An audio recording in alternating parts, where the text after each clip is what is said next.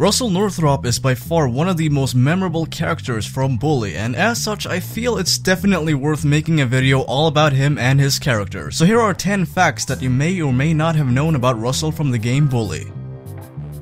Number 1. Punks during his early stages of development, Russell was originally designed to be the leader of the Townies, though back then, the Townies went under a different name, Punks. Russell's role was eventually given to Edgar Munson instead.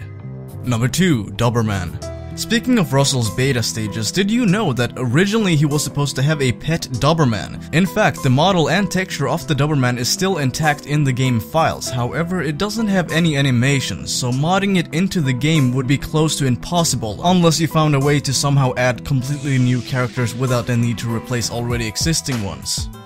Number 3. Motorcycle Russell is the only non-police character to own a motorcycle, although it's unknown whether or not he actually owns the rights to it or if he just stole it.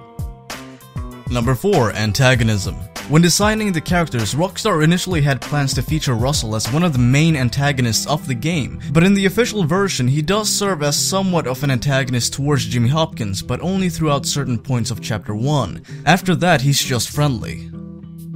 Number 5. Strength Russell is by far the strongest and toughest student on campus, not only because he's able to knock down a giant metal gate by ramming his skull into it, but also because of his unique ability to survive an explosion and still be able to run and fight afterwards.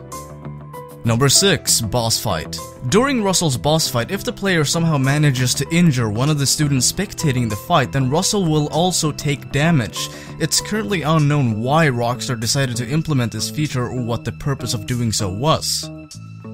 Number 7. Loyalty Russell and his clique of bullies are the only people on campus aside from Pete Kowalski who don't turn on Jimmy Hopkins, making him one of the most loyal people that Jimmy befriends.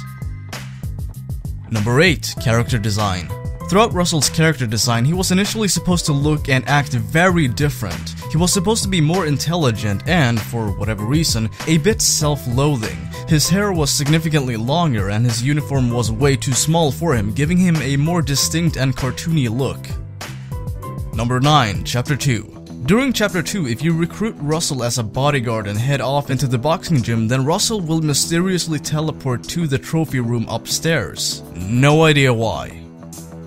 Number 10. House Russell is the only person in the game whose housing location is actually known, and judging from the house's location being in the richer part of Old Bullworth Vale, only a few minutes from the mansion areas where Tad Spencer and Mr. Hattrick live, it's possible that Russell and his family are wealthy. If that is the case, then Russell is most likely the only rich kid on campus not to be part of the preps. Thank you guys for watching this quick video about Russell Northrop. If you have any requests for video facts, then let me know in the comments below. Also, make sure to give this video a nice fucking thumbs up, as it does help me greatly. Anyway, thanks for watching, have a good one.